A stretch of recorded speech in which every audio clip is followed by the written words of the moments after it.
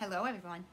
This week we're going to be talking about art and different types of art. So what we are going to do is we're going to do some painting while we listen to some music. I have my brush, my watercolor paints, my paper, and some water to rinse my brush. I'm going to start by wetting it so that I'm already ready. I do have other brushes, but this one came with my paint, so I'll use this one.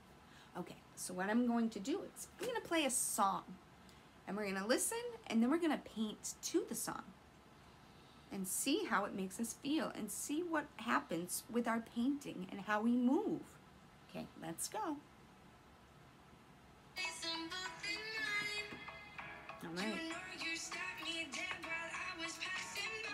I'm gonna use some green. I wet it and then I put it in the paint. See, I'm moving it around.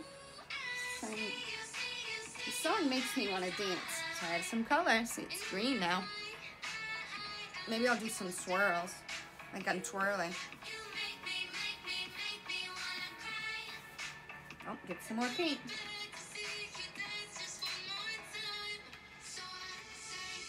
Oh, now I feel like zigzags.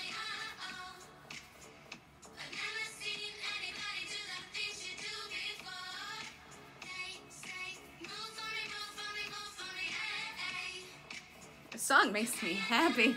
I don't know about you, but when I see you, we'll do this song together and you'll be able to tell me. Maybe we'll do a different song. I can't wait to see you. Have a great day.